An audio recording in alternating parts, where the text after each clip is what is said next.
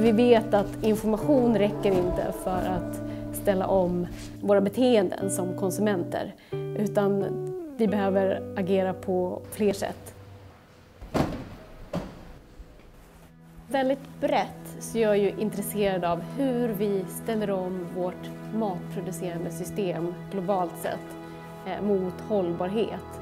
Och där är ju konsumenter och individer det är en del av det stora pusslet. Matproduktion är idag en av de största miljöpåverkanskrafterna mot vår planet. Ungefär 30 procent av koldioxidutsläppen kommer från matproduktion. Den tar också stora resurser när det gäller mark och färskvattenanvändning. Och en stor del av den biodiversitetsförlust vi ser idag, att arter dör ut, beror på matproduktion.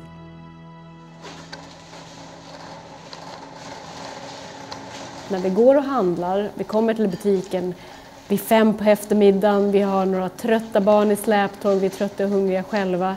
Eh, problemet då är att vi, vi påverkas av en rad olika faktorer och just hållbarhetsaspekter kommer riktigt långt ner i prioriteringslistan. Hälsoaspekter kommer lite högre upp. Och det här är forskarna intresserade av.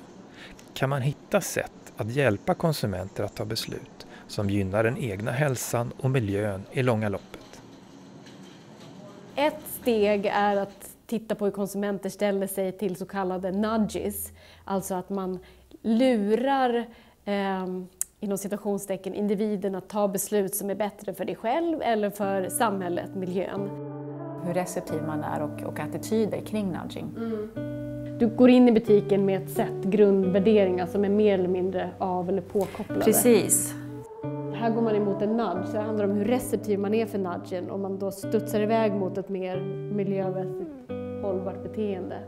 Det här nudging-experimentet som vi designar nu handlar egentligen om hur vi kan få människor att styra iväg från den mat som påverkar miljön i allra störst utsträckning. Och i breda drag så handlar det om det, det röda köttet, framförallt idisslande djur som, som kor till exempel, mot produkter som har ett mindre miljömässigt fotavtryck. Och mer specifikt i projektet tittar vi på hur vi kan styra om människors val från eh, det röda köttet till mer fisk och skaldjur. Men där skulle man egentligen kunna lägga andra produkter också som eh, vegetariska alternativ till exempel. Men vi tänker att fisk och skaldjur kan vara en ganska lämplig eh, mellanled mot att äta ännu mindre miljöbelastande produkter och det har också positiva hälsoeffekter.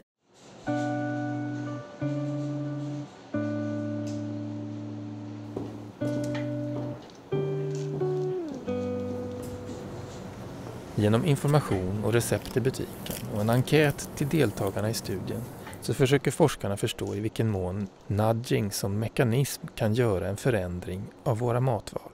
Men det behövs också till eh, andra typer av verktyg som går bortom individens val.